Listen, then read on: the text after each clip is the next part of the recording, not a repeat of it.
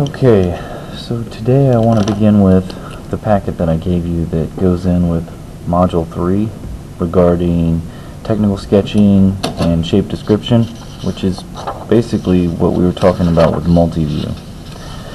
So we're going to kind of work through each one of these problems from the first set. Because before you go on to the assignment 3 in this module, I really want to make sure we understand what we're drawing when we have our front, top, and side views. So we're going to go through each one of these today using our straight edge and triangles.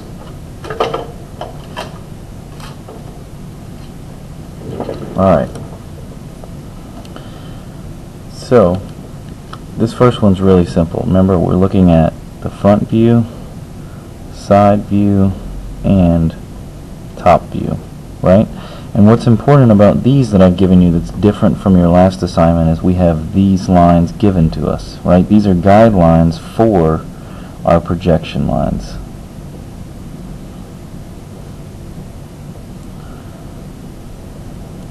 So we want to go ahead and draw the front view first, as, as because we want to always show that view because it tells us the most information.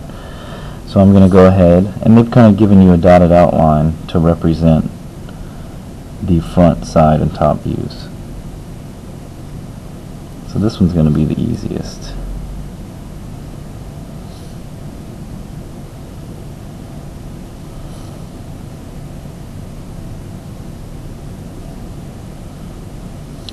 Right?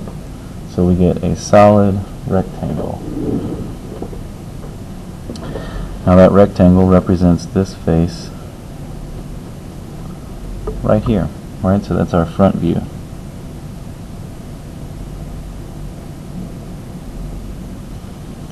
Alright, now moving on, we want to do the top view.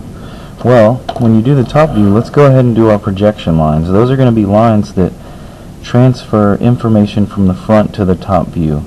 In other words, if you're looking at the front view here, these points, or this edge, is shared by both sides. So in other words, using a lighter pencil, not the same thickness, we're going to do light lines, and I'm using red to illustrate this better, to represent the outside edges of the top view.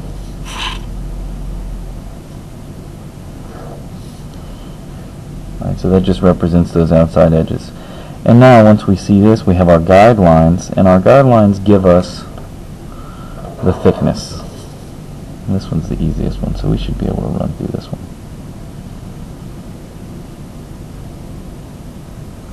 So let's fill in that view.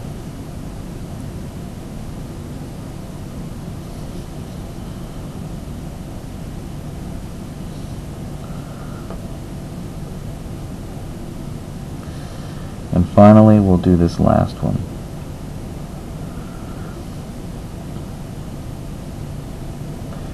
And they've given us guidelines for the top and the bottom. So you can come back and we can show those guidelines with your lighter pencil, right? And I'm using red here because that would be as if you're using a very light 2H, 3H, or 4H. Alright, and that's your first problem. It's a real simple rectangle. We're just showing front, top, side go on to problem two.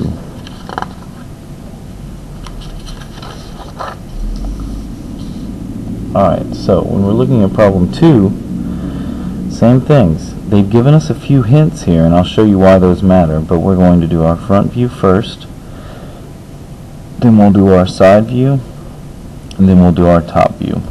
And we're going to use a little more of these projection lines this time. So, let's go ahead and draw the base. We know, let's draw this edge. So we're basically going to take this point and that point goes here. This point and this point goes here. And these points are transferred, right?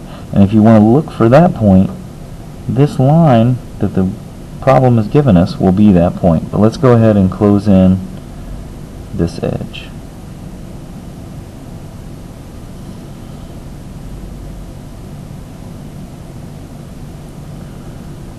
Alright. Now, we want to go ahead and map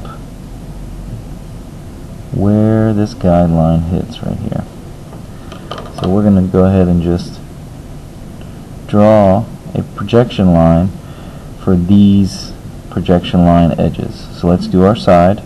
I'm going to do the bottom all the way across. I'm going to do the side all the way across and I'm going to do the top all the way across. Now we're going to do the same thing for the top view. All right, we've got our edge. We've got a get a guideline here or projection line. And we've also got our back edge. So now we've mapped out all of these lines and let's go ahead and do our horizontal view. Now watch what I do here when I do my top view and I project these horizontal lines. I'm going to follow this guideline all the way over to here. Okay, because when you do the top view, if you're looking at the top and the side, they share, the top view shares these points. Right, so you can see these points on this view. Okay, so now we're going to go ahead and show this line, but we're going to stop this line right here because that's where both edges of the front, top and side meet. So I'm going to do the same thing for the side view.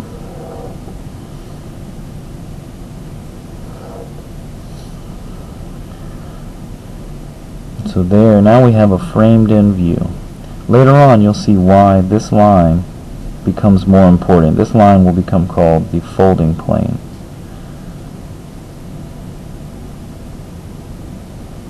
Alright, now let's darken in what we're seeing on here that's important, that we need to be drawing.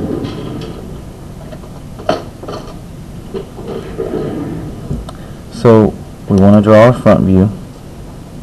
Our front view is this L-shape profile. So let's go ahead and trace that L-shape profile because we've created it with these lines, these projection lines.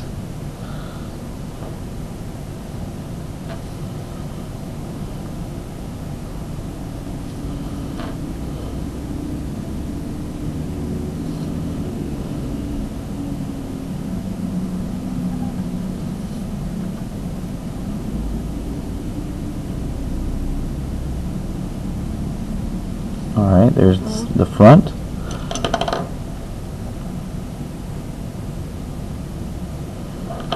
The top. The top is just looking down here, so it's a rectangle with an elevated surface right here. So let's outline that.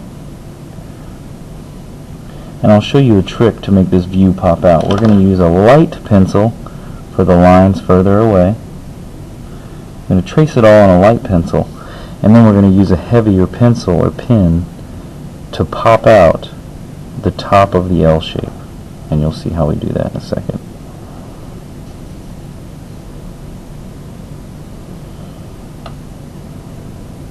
And this is why we have different line weights in pencils. So now I'm going to pop out this shape because it's higher up than that shape.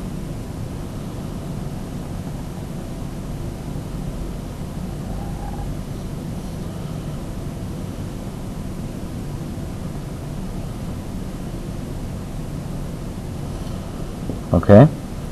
Now we're going to do our side view. Side view, same rules apply. If we're looking at the side, this surface is closer than that surface. So we're going to first trace our whole shape.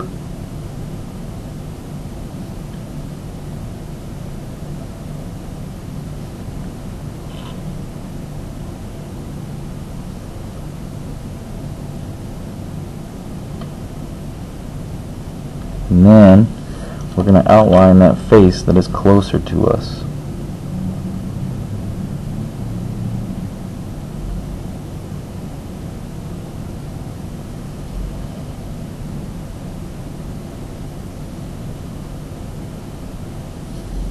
Alright, and that gives us our front, side, and top views.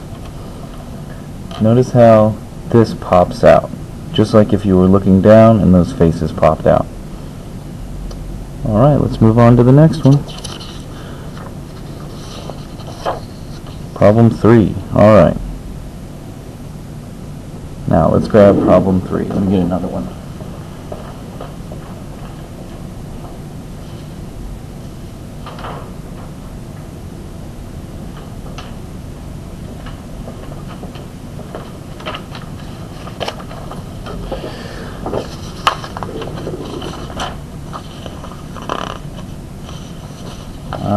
Let's take a problem 3.